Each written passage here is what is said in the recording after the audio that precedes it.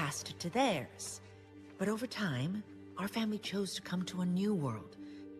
And what was a blessing became an inconvenience.